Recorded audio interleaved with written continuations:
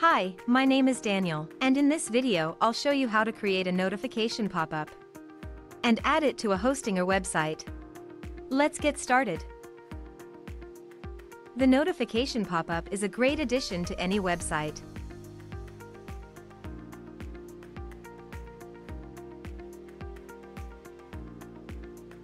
To start, enter Common Ninja website. Choose your widget from our large collection of widgets. And once you've entered the widget page, click on the Create button to enter the notification pop-up editor. Here, in the editor, you can edit the content and add an image to your pop-up, if you wish.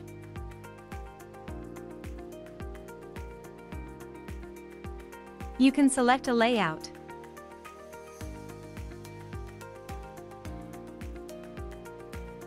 and a skin.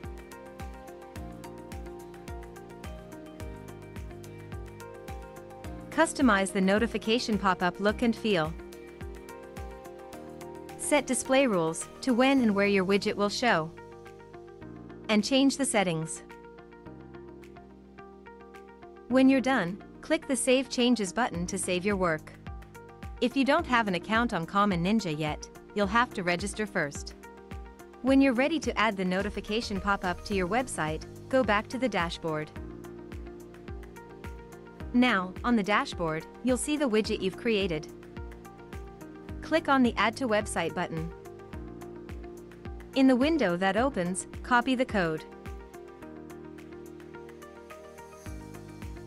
And close the window. Remember, you can always return to the widget and keep on editing it. Now let's head to the Hostinger website editor.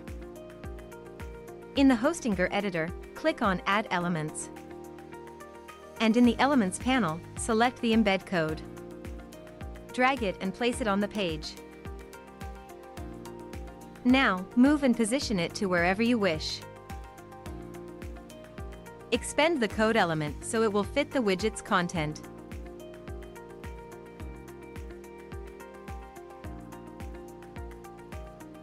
Now, click the Enter Code button. And simply add the widget code you've copied before. Click on the Embed Code button to apply the changes. And that's it. Now, the notification pop-up will show on your website.